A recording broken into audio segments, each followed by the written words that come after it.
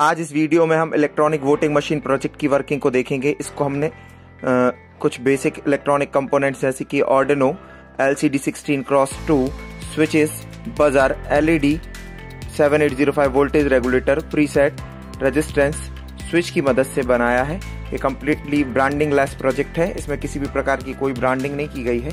तो इसको आप अपने कॉलेज स्कूल में डायरेक्ट जमा भी कर सकते हैं। चलिए देखते हैं ये काम कैसे करता है। यहाँ पर हमने वोटिंग का कंसोल बनाया है इस टाइप से। आप देख सकते हैं, जैसे यहाँ मैं बटन प्रेस करता हूँ।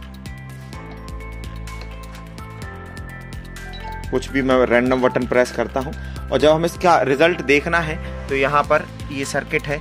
आप देख सकते हैं इस प्रकार से कि ये वोटिंग का काउंट यहाँ पर दिख रहा है। जितने बार भी मैंने बटन प्रेस किया होगा। और जैसे ही मैं ये बटन प्रेस करूँगा, यहाँ पर रिज़ल्ट लिखा आ जाएगा।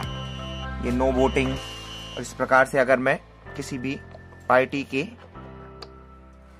वोट को बढ़ाऊँगा तो ये इस प्रकार से लिखा आ जाएगा, जो भी पार्टी जीतेगी। तो इस प्रोजेक्ट को ऑर्डर करने के लिए डिस्क्रिप्शन में दी हुई लिंक पर जाएँ। मिलते हैं अगली वीडियो में नए प्रोजेक्ट के साथ। तब तक के लिए नमस्ते, जय हिंद।